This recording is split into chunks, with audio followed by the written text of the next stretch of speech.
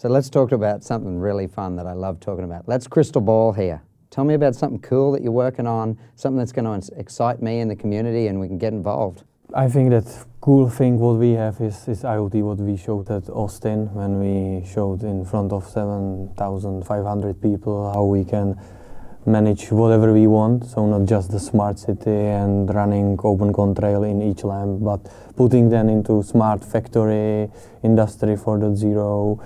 And I think that technology is evolving. And if you look at the Kubernetes and, and these kind of technologies, you can see that in the future, you will not care what's your virtual network, what's your IP addresses, or what's the security group. You just will care about endpoints the service endpoints. Here is my service, here is running, and the orchestration tool and SDN orchestrator prepare everything for you. And I think that automation is, is growing. I think we would like to have a full visibility of what's going on on your network, not just for VMs, bare metal, containers, everything, right? One of the things that everybody struggles the most when we have a problem in the network is exactly finding out what is, a, what is the issue. Having a full visibility, a full dashboard when actually there is a red line that is blinking and saying like, hey, here we have a problem. This VM, this container, whatever it is, is actually sending more traffic information that this is expected to be, there is a problem, there's an attack, there is something potentially that is happening to your network. And you actually can figure it out in a simple step instead of having the whole army of engineers putting together in a war room and say like, mm -hmm what the heck happened last night that actually we couldn't sleep and now everybody is freaking out because they don't know what's going on. So um, it's still happening, whether it, whether it is the technology, the hardware, the data center, there will be still things that you need to figure it out. Having that magic mm -hmm. dashboard with everything is given to you is what we like to see. In. You guys made it easy for me. So cool things that we're looking at, exactly what you said. So we're actually trying to bring machine learning to that solution, right? So actually come in and say, you know, of these million logs, what actually happened here? And as you build patterns over time, so we're trying to build machine learning into the operational challenges, right? So rather than pass logs with regexes, right?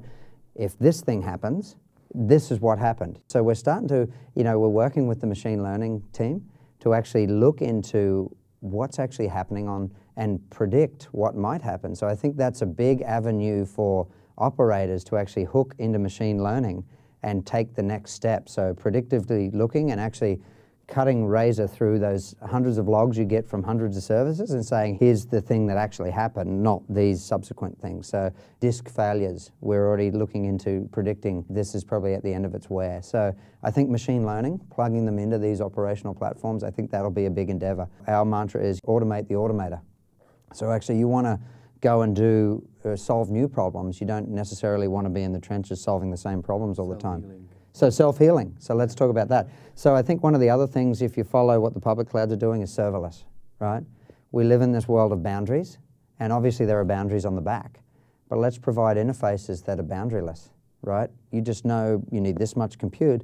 So let's talk about what's serverless. Let's look, talk about open source serverless. What's that look like, and how are we solving the serverless problem? Let's think in endpoints. Let's not think in walls or dividers. Let's think I have an app with this much resource requirement. How you service that is up to you, up to the scheduler. Let's not think in, I need three containers. Let's just think I need one gig of RAM and this much compute. Where you get that, I don't, I don't care necessarily, right? As a user, you don't care if it's three containers or a VM. So actually, actually, as a user, you shouldn't even know you shouldn't what even is know, right? So this is you can call it serverless on the front, but I think the Lambdas in AWS and, and those kind of technologies in Google, I think they're going to trickle back down to, to the open source community. I think that's a really interesting thing. Now, I'm going to go for, go for the big one here. I had an in interesting conversation at the user group. It was somebody who works for a satellite company and he's talking to Open Contrail about solving networking and communication problems, not only above Earth, but interplanetary, right? And this might seem like a joke today, we're going to laugh at this, but you know, as we go down the road, landing on comets, looking at Mars, looking at all these things, I mean, you guys laugh. I mean, there is a communication problem that's going to need to be solved. If we start getting our hands in there, what's to say we don't solve those problems with this platform. What's to say you don't put your sensors on Mars and when they're terraforming uh, it, I- you I'm- figure out how much oxygen's there on your I'm, sensors? I'm not laughing because last time I laughed too. Last time you laughed at me, you, we're, we're at this table right now talking about it. So I, I think there's a big space networking problem that's going to come come to pass. And I think it'll be really interesting to be able to actually take these learnings and let's take them to one and a half second round trip time. Let's take them to 15 minutes round trip time. Let's figure out how that looks. How do we get Raspberry Pis on a Comet? How do MPL, we MPLS in every family. Every, MPLS in every family. So what I want to highlight is don't limit what you're thinking about with these platforms. Two years ago, you said no way. Now you're on stage saying, look, we did it. We're saying no way to satellites or maybe interplanetary connectivity or serverless, but in two years, we'll be laughing at the fact that we laughed at this.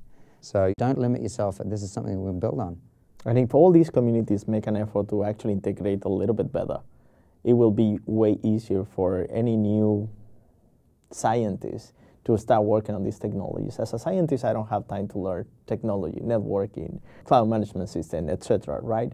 I want something that is going to be so natural that actually I can put it in practice to make reality all the communication Absolutely. that I want from Mars, Absolutely. from whatever you what want to come from. Tim right? Bell and the guys at CERN did, right? They had the Hadron Collider. How do they process that much data, right? They didn't have an infrastructure to do that, but the cloud brought that. So we have these frameworks that we can build on. They're all open source. We get the collective knowledge of the world behind this. Let's solve these problems to enable the scientists, if it may, or the medical field, whatever.